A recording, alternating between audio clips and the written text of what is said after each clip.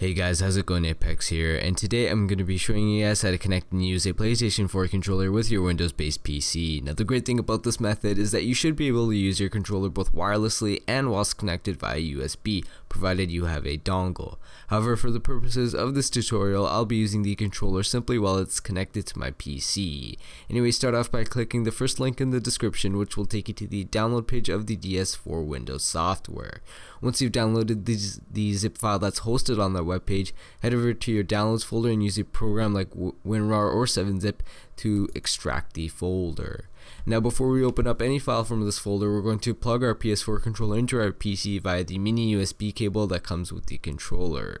If you don't have the default one lying around, any other mini USB cable should work such as the one that, that comes with your phone. Anyway, once you've done that, open up ds4windows.exe and from here you can pick where you want the settings and profiles of the controller to be saved. I'm going to select my programs folder. And under the controllers tab here we can see that we have an ID the status which shows that it's connected via USB the battery and the default uh, profile.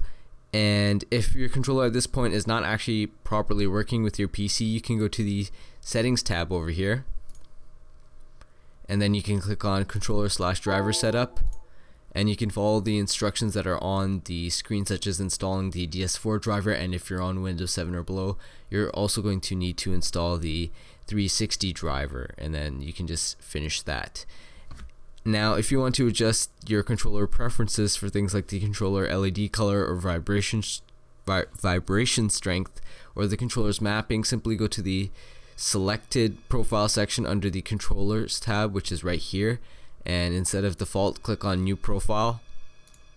And from here you have any and all preferences you might want to tweak with your PS4 controller. And you can change things like your RGB lighting and it's all reflected on the little map here Anyway, that's about it. From this point on, you should be able to use your controller with your Windows computer. Hit the subscribe button if you would like to stay tuned for more high quality tech content as I upload 1 to 2 videos a week with a guaranteed upload every Friday. Thank you guys so much for watching and I'll see you guys in the next one.